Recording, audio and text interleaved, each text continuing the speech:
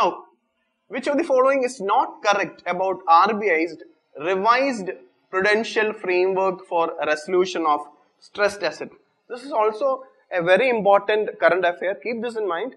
UPSC used to give more importance to money and banking current affair, money and banking and external affairs current affair. So this is another current affair regarding RBI's revised framework. So before having solving this question, just have an idea what is this R based. So you know that stressed asset, okay? So our any asset which is showing a sign of stress, NPA is also included under stressed asset, okay? So RBI have come up in in February 2018. In February 2018, RBI have come with a, a circular on prudential framework for resolution of stressed assets. But there, the February 2018 uh, framework on uh, resolution for stressed asset had many stringent provisions. So, in June 2019, RBI have amended. It's due to the Supreme Court intervention. But anyway, in June 2019, this February 2018 framework was revised. After the revision, the new, what this revised framework says that is that it says that, it says that this revised framework will be applicable to all borrowers, all borrowers with exposure of 2000 crore and above will be part of this revised framework for resolution of stressed assets and it is applicable to all banks, financial institutions like uh, NABARD, Exim Bank, SIDBI. It is also applicable to small finance bank and NBFC with immediate effect. That is from June 2019 onwards. Okay. And central bank also have made it voluntary for lenders to use the IBC. Okay. So central bank also have made an option. It is from, it has made voluntary for lenders to use the IBC. Okay. So it has given the uh, bank an option. Okay. Voluntary for lenders to use the IBC. Okay. So this is one of the provision to note down. Central bank has made it voluntary. Vol means lenders can themselves decide whether to use the IBC or not. Then another is that for implementing a resolution plan, okay, for implementing the resolution plan, after the revised framework, it says that all lenders have required to enter into an intercreditor agreement. Intercreditor agreement was a prelims question, okay. So intercreditor agreement is between all the lenders, okay. So all lenders have to, it's compulsory have to enter into an intercreditor agreement between all the lenders.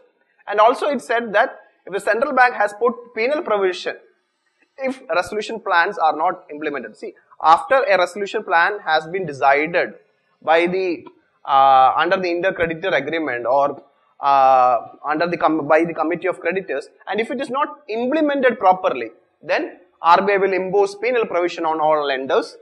And it said that okay, lender have to set aside 20 percentage more provision if the plan is not implemented. If the resolution plan is not implemented within 210 days. This is a very, very, very, very important point. Okay. Within 220 days after the, see, if the resolution plan have been passed and if it is not implemented within 220 days from the date of default, the provisioning is 20 percentage. And if it extends, if it is not implemented within 365 days of default, provision will increase to 35 percentage of the amount of default. Okay. So provisioning is nothing but setting aside the capital to deal with that non-performing asset. Okay. So this is a very important point. If the resolution plan is not implemented within 210 days, 20 percentage have to be set aside for provisioning. If it is not done within uh, 365 days of default, 35 percent provisioning has to be done. Okay, very important point to note down. Then another another point is that all decisions under the intercreditor agreement, okay, all decisions made by the lenders under the intercreditor agreement when made if the consent okay when the, with the consent of 75 percentage by value 75 percentage by value of the total outstanding credit see this is very very very important uh, uh, point okay all decisions under the intercredit agreement with when made with the consent of 75 percentage by value of the total credit and 60 percentage of lenders by number so 75 percentage by value that is the amount and 60 percentage by lenders by number wise if will be binding. So if there is a consensus, if there is, if 75 percentage of the lenders, lenders means those who have given loan by terms of value. For example, 100 crore is the, for example, 100 crore is the value. So it means 75 percentage means lender, those lenders combined together who is, who has given loan up to 75 crore and if it is number wise, if 10 lenders are there, if 60% means if 6 lenders, out of 10 lenders, by number, if 6 one, 6 lenders are approving this decisions in the intercredit agreement, then it will be binding on all other lenders. Those who are not agreeing with the, uh, with this decision also have to implement this intercreditor agreement, decisions taken in the intercreditor agreement. So, 75 percentage by value, 60 percentage by number, if it is made, if the decision is made in the intercreditor agreement, then it become binding on all the lender. Another very, very, very important point. Okay. And initially, initially, that, that is the 2018 February circular on this revised framework, may mandated agreement of all lenders for the resolution. So initially, it was mandatory for all lenders to approve for the resolution plan, but now in the revised framework in June 2019, instead of all lenders have to approve the resolution plan, it is 75 percentage by value and 60 percentage by 60 percentage by number. So this is a very important current affair. Now we will try to solve the question. Okay.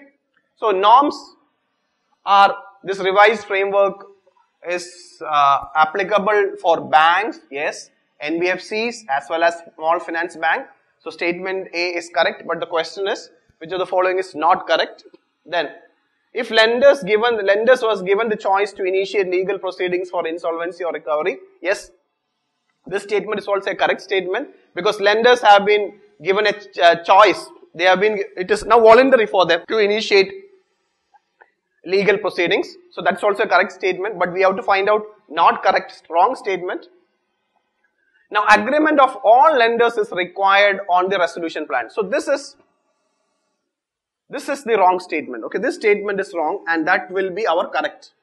They are asking for not correct because now agreement of all lenders is not required on the resolution plan. Earlier in the February 2018 circular, agreement of all lenders is required on the resolution plan. Now it is 75 percentage by value and 60 percentage by number is required. So C is the wrong statement and that is your answer. They are asking for not correct statement.